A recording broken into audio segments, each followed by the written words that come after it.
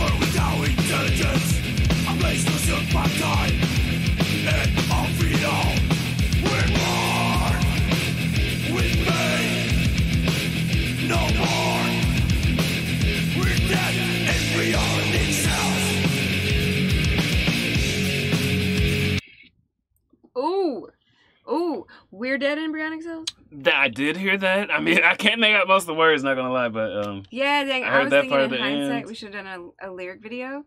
Cause uh, they're gonna block yeah. the video anyway. Oh, so, they are. Yeah. Oh, dang it. But yeah, I like this band. So we haven't listened to very much of them.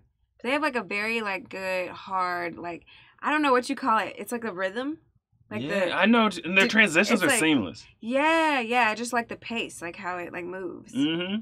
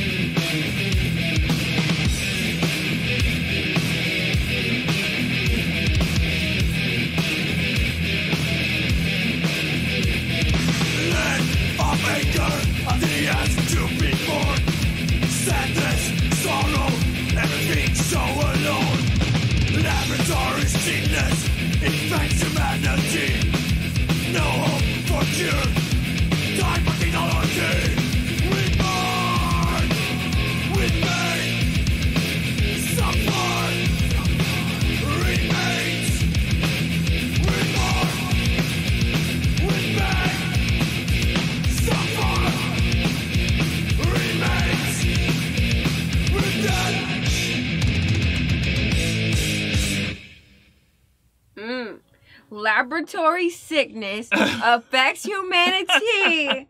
I'm not gonna say anything else. Uh, I gave up on trying to understand the lyrics. Oh, okay. It was just too distracting trying to like really crunch and like hear all the words. I just uh, just We're give me the sound. We're born in pain. We're dead.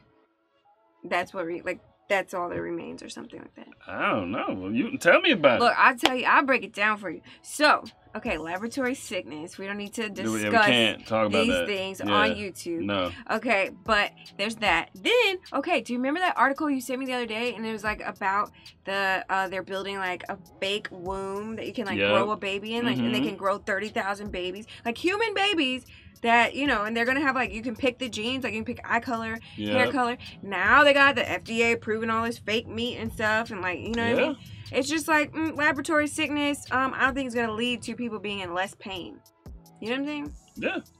Like I think they're they were keeping it simple. They're saying all this fakeness, all this chemical stuff. We need to get back to nature because that laboratory stuff we're into, all this sciency, like it's great, it's innovative, it's cool, but that isn't leading us away from pain. You know what I'm saying? I know what you're saying. I just don't know what they were saying. That's what they were saying. Oh, okay. Yeah. I'll take your word for it.